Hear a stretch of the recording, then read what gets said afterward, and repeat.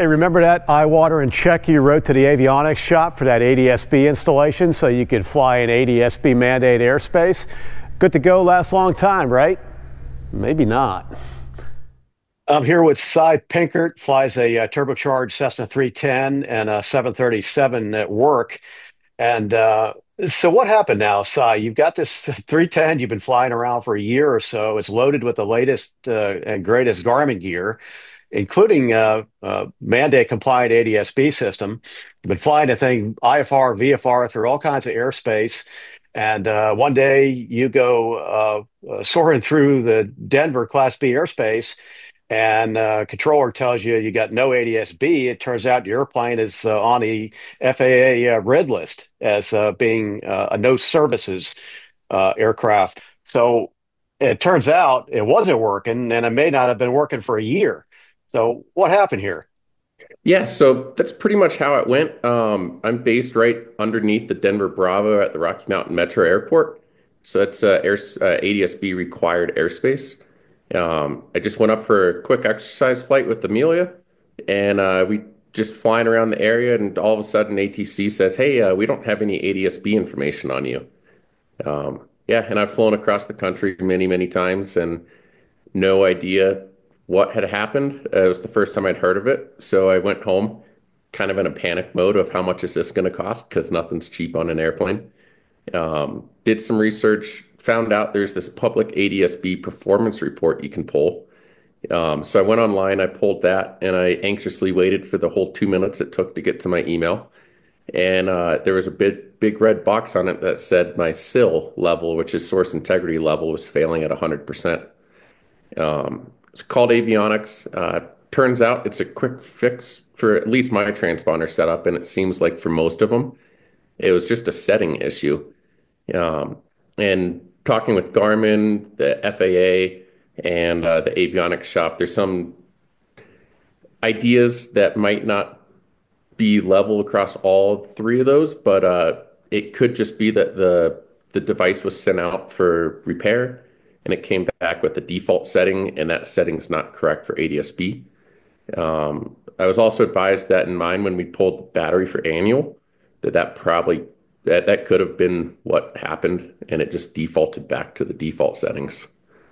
Yeah, for the viewers that, that really don't know what, what goes into an avionics installation, in particular an ADS-B install, uh, you've got a Garmin ADS-B transponder. It's got ADS-B out. So when the installer puts it in, there's a pretty critical installation configuration that needs to be entered into the box. So it outputs the right data for your airplane. And the shop uh, should have the test equipment to check the ADS-B. But um, the question I have is, you know, you flow this airplane all over the place in all kinds of airspace for all that time.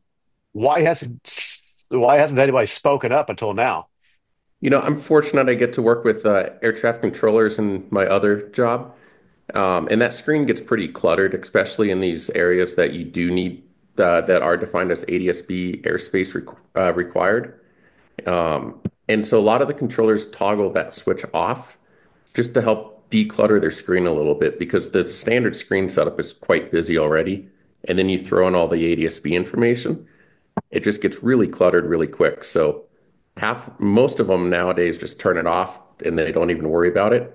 They just get a little symbol next to your call sign that tells them whether your ADS-B is working or not. So, but five years into this ADS-B output mandate, people flying around in ADS-B airspace with either equipment that doesn't work or maybe not even having any equipment at all.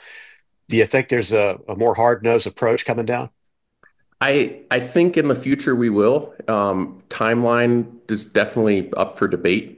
Um, but in my situation, I called the FAA folks with the ADS-B out requirements, and I fessed up to them real quick, filed my NASA report, did all that, and was pretty honest with them, and they opened up quite a bit to me. And uh, they said currently they're not doing enforcement actions, but we know currently just means today.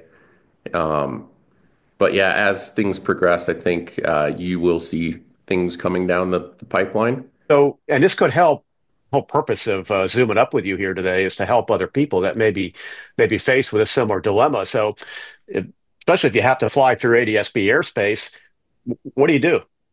Yeah, so there's a uh, deviation flight request. You can put um, put in information. It's pretty much like fi uh, filing a flight plan.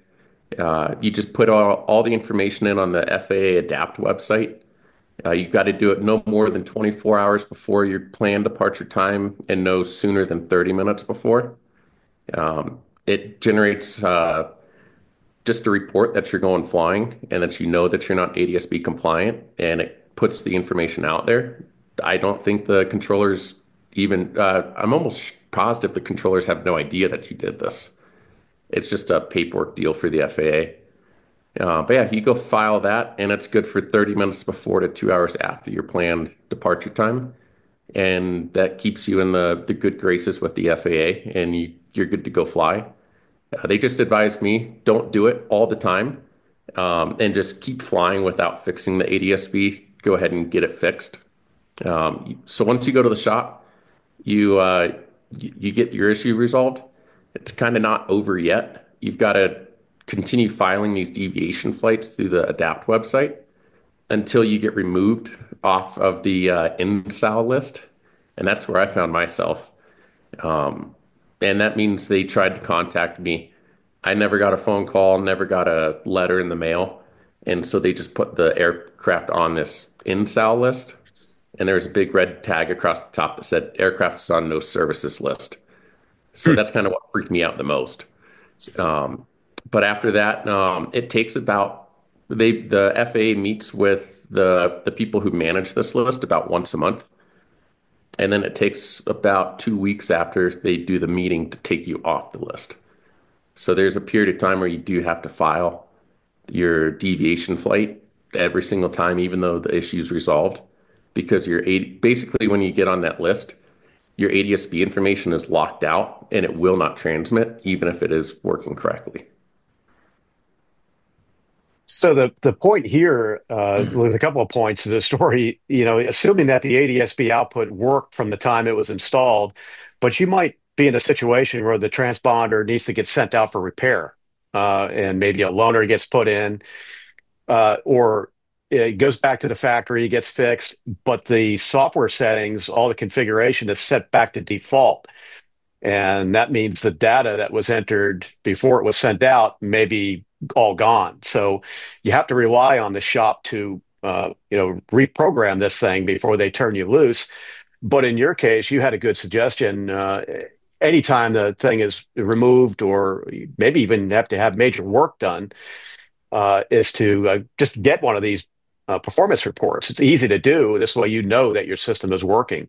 Is that kind of what you believe? Yeah, you know, I think what I'm going to do is every quarter, I'm just going to pull a performance report. It takes less than five minutes to do. Um, and that way I know that I'm all taken care of. Uh, and I found out with the FAA a fun little tip with this uh, ADSB out is the uh, controllers might not even tell you that you don't have your ADSB out working, but they can file a report to the FAA. And so they just send an email to a email address. It goes up to these folks up in Alaska and then they'll send out letters to you about your ADSB, and you'll never have gotten any notification from the controller at all. So, hmm. just to kind of solve that issue and get ahead of it, I think just anytime you go in for maintenance, or if you don't fly super regularly, just pull the report. It's super easy, and it'll keep you out of trouble. Also, worth mentioning is if you're buying a used airplane, and you know you want to you should look through, make sure all the logbooks are in shape, of course. But an important thing to look for is this ADSB performance report. Make sure one of them, uh, make sure it exists. Uh, it should exist. Uh, should end, end up with the flight manual supplement after the installation.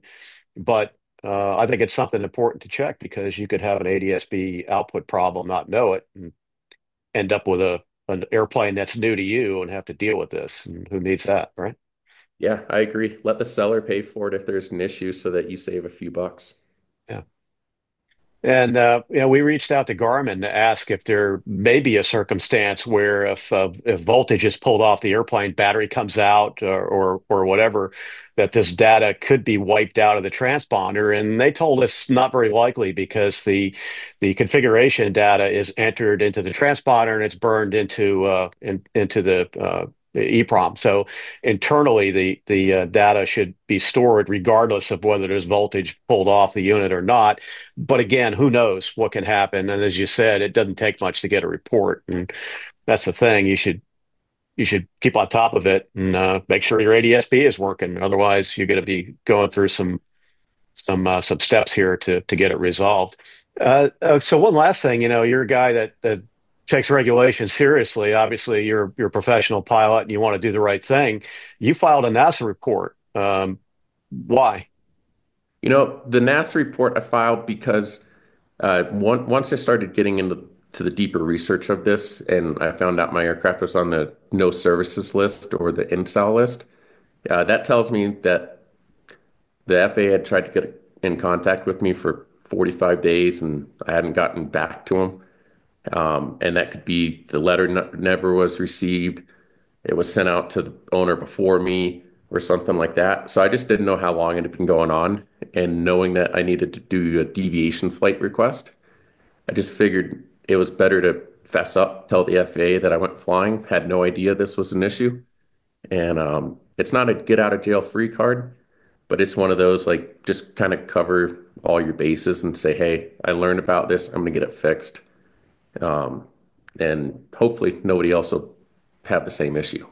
Well, you've been watching uh, Aviation Consumer Live uh, for AvWeb and Aviation Consumer. I'm Larry Anglisano. Thanks a lot to uh, Sy Pinkert for uh, interesting uh, field report here.